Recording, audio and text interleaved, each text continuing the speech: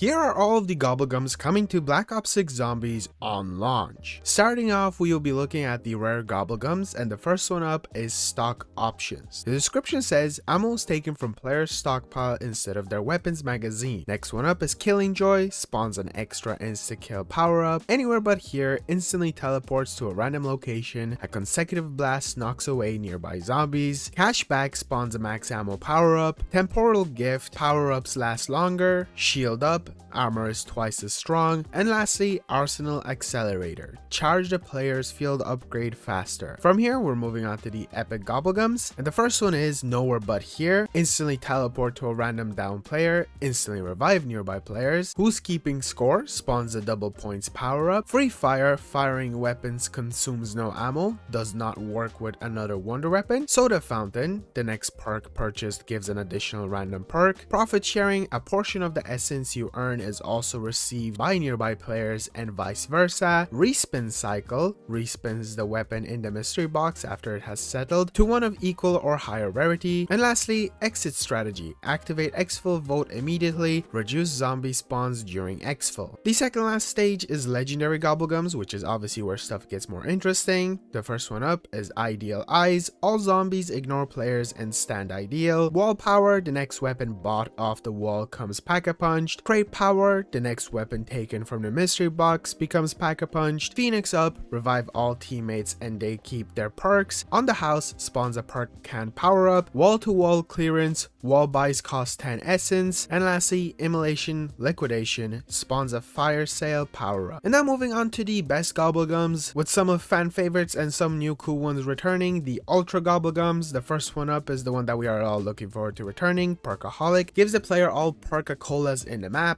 Near death experience, revive or be revived simply by being near other players. revive players keep all their perks. Hidden power, upgrade your currently held weapon to legendary rarity.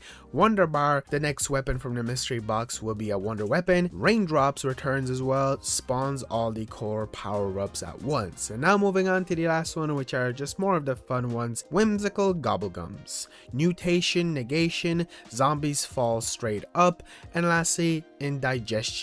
Zombies killed experience Zombies killed experience extreme flatul flatulence flatulence. And that's it for the Gobblegums. A lot of them are coming back from Black Ops 3, and a lot of them are also just brand new additions that will make life a tiny bit easier in the game.